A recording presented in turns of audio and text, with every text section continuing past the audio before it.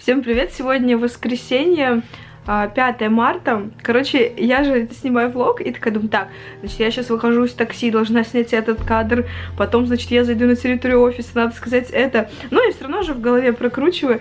И тут я захожу на территорию офиса, и стоит охранник такой, говорит, ну давай, я уже вам помогу. А я каждый день реально в офис приезжаю с какими-то невероятными сумками, и они постоянно до мной ржут. Вот, и он, короче, сейчас занес, и получается, что я не могу снять, как я там вставляю ключик или еще что-то. Ну, короче, начало влога будет немножко другое. Но это не значит, что влог будет хуже, чем предыдущие. Вот, но, короче, это было забавно. И самое главное, что я уже в офисе в этом с... Сейчас скажу. Слушайте, уже с октября месяца. И а, когда мы переехали, так как огромное количество шапок, вообще всего-всего того, что нужно э, для работы, то у нас было, мне кажется, э, пару месяцев просто такой бедлам. Мы его не могли никак разобрать, потому что, ну, действительно много вещей. И он всегда, когда приходит к нам в офис, когда помогает пакеты заносить, он такой говорит, наконец-то разобрали свой беспорядок. Я говорю, мы уже разобрали, блин, три месяца.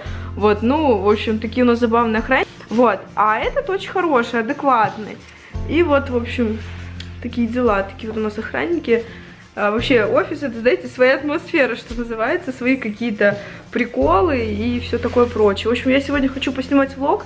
Я приехала в офис, у меня по плану съемка, мне нужно доснять для клиентов некоторое количество кадров. И также мне надо для себя, для инстаграма наснимать, снять некоторые уроки по курсу. Ну вот. А потом э, ко мне приедет Алена, моя подруга, и мы поедем снимать меня. Вот, поэтому я косичками, чтобы у меня волосы были, в общем-то, в общем-то, волосы были волнистые. Я когда ехала с таксистом сегодня, у него были настолько грязные окна, что мне кажется, знаете, вот когда приходишь в оптику и тебе прописывают очки для зрения, которые все такие черные и в точечках, и вот просто мне казалось, что я смотрю через эти очки, э, ну, то есть через его окно, потому что настолько грязное. Но с другой стороны, конечно, я понимаю, что сейчас, э, что сейчас весна, это я, кстати, кофемашину распаковываю. А, сейчас весна, и понятно, что все будут, ну, вот в таком вот состоянии. Ну, просто я не могла снять Москву-Сити. Мне пришлось открывать, а, мне пришлось открывать это окно, и он еще психанул, что я открыла окно. Думаю, ну, ты, блин. Ну, вот, пожаловалась.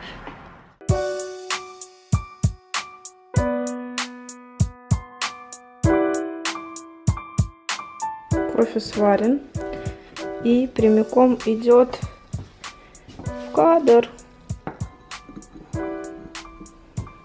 Короче, ребят, снимаю. Видите, у меня здесь такой беспорядок.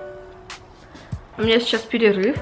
Я на самом деле, когда снимаю, э, у нас еще учили на абсолютно любом мастер-классе, что э, важно в нужный момент сделать перерыв, чтобы оценить кадры, которые у меня уже есть, да, и что нужно снять еще, э, чтобы не снимать одно и то же. Вот у большинства ошибка в том, что они фотографируют один кадр 500 раз. Ну, как бы зачем? Если он уже случился, надо делать новый. Так что у меня перерыв, я сейчас хочу а, немножечко оценить, что же я там снимала и отдохнуть. Потому что, знаете, стоять в раскорячку не так-то и просто.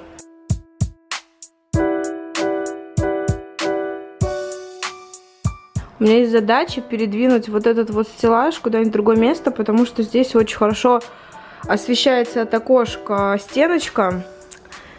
И, в общем, мне надо все книги достать и перетащить этот стеллаж. Боже, посмотрите на этот беспорядок. Это просто трэш.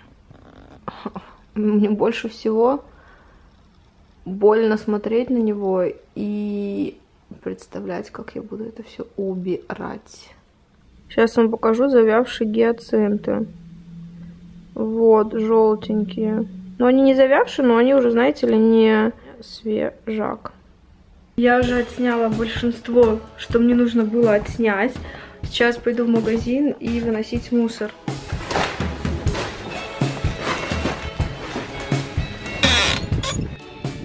А еще охранники наши любят шутить по поводу мусора, потому что у нас его постоянно много, и мы заносим мешки огромные, ну вы видели, и выносим в мусорку тоже большие мешки. Сейчас я кину и схожу во вкусвилл, куплю себе что-нибудь поесть. Потому что Алена будет через час. А мне хочется... Ой, упала.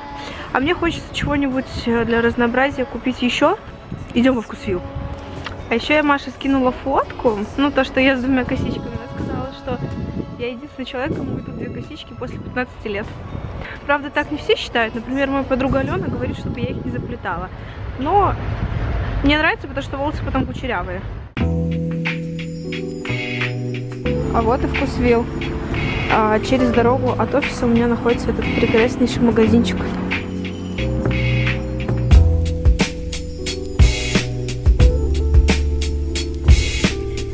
Наверное, придется вот такой вот взять, потому что здесь всего лишь 85 калорий, вот в этой во все баночки. Вот, видите, оно без сахара. А так как я сейчас сахар исключила, это то, что надо для меня.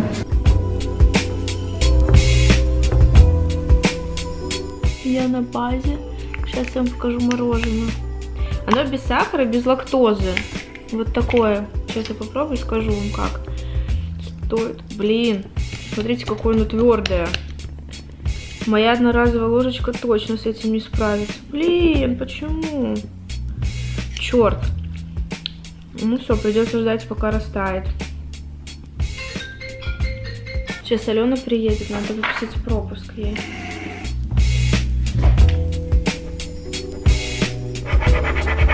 Неправильно. Короче, морожка растаяла через полчаса. И очень вкусная, рекомендую. Шоколадная, протеиновая, без лактозы, без сахара. Вот, вот, вот и вот. Я помыла кружки. Пришло время накрасить ногти, пока я жду Алену.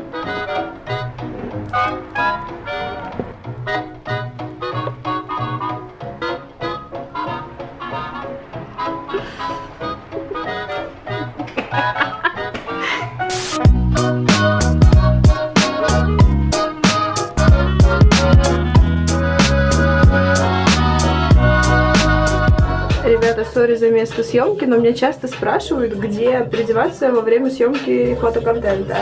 Вы можете зайти абсолютно в любой туалет, в ресторане, в кафе, в котором вы планируете сниматься, и вот переодеться, вуаля! Так что я переоделась, и мы сейчас будем кушать и фоткаться. А в общем, мы здесь планируем поесть, попить и сделать несколько фотографий.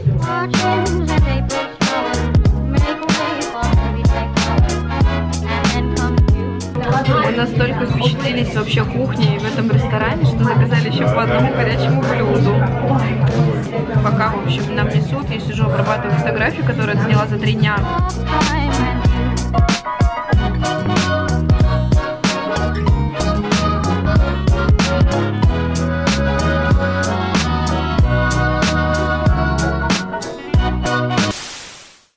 Сегодня понедельник, я выдвигаюсь в офис. Вот, немножечко дома с утра поработала и уже сейчас выехала, буду через 40 минут на месте. А, вчера особо больше не снимала, потому что мы посидели в ресторане и поехали домой. Особо даже не пофоткаюсь, если честно, потому что а, было очень слякотно и пошел дождь, что вообще мы не ожидали. Понятно, что никаких зонтиков у нас с собой не было. Но я вот сейчас еду в офис, у меня какой-то невероятно огромный рюкзак. А, там еда, всякие, в общем, причиндалы для работы, книжка и все такое прочее, все, что нужно мне за сегодняшний день. Короче, вчера я написала пост на тему того, а, что увидела на просторах Инстаграма услугу по прокату букета. Прокат букета для фото к 8 марта. Кстати говоря, сегодняшнего дня, 6 марта, эту услугу можно купить. Стоит она 1000 рублей, тебе в дом привозят букет огромный из 101 розы. И к нему можно выбрать пакетик любой брендовый, Армани, Дольче, и сделать фотографию для Инстаграм. И слоганом а, всей этой движухи является типа «Хотите, чтобы вас приревновал парень, хотите, чтобы вам позавидовали подруги?» И я написала на эту тему пост, были довольно длительные обсуждения. И я вам хочу сейчас сказать свое мнение на этот счет, почему я считаю, что это очень крутая идея, и что ее нужно взять за пример, адаптировать под себя, чем круто. Вообще вот этот вот аккаунт, чем крутая идея, которую они предложили здесь очень четко взята узкая проблема большинства девушек, которые приехали в Москву.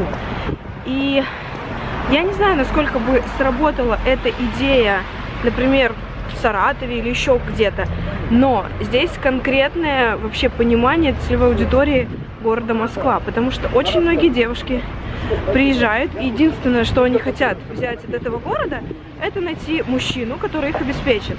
А, такие девушки не хотят напрягаться, они не хотят нести ответственность за свою жизнь, и а, им нужно показать своим профилем в Инстаграме, что все у них хорошо, а, что им дарят цветы, что они живут активной, насыщенной жизнью. Поэтому с точки зрения московской целевой аудитории, а именно приезжих девочек, это супер вариант, и я уверена, что он сработает. Вот, как бы это печально не было, и как бы много людей не сокрушалось в комментариях о том, что вот, куда катится мир, но это факт. И повторюсь, эта тема для Москвы очень актуальна. Еда, салат, помидоры, контейнерчик.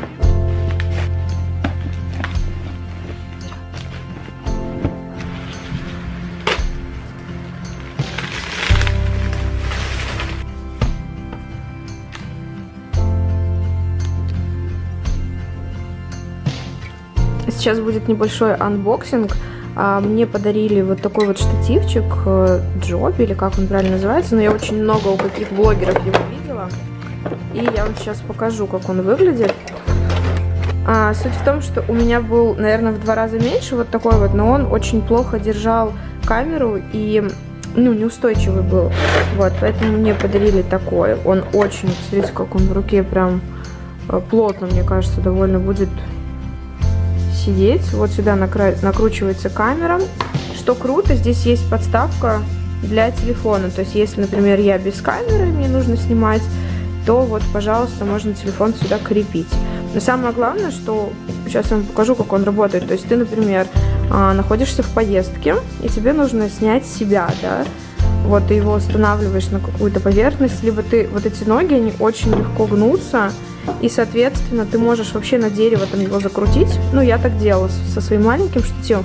Слушайте, он, очень крутой, он очень устойчивый, потому что прям крупные вот эти вот шарниры, и он, соответственно, такой вот гнущийся.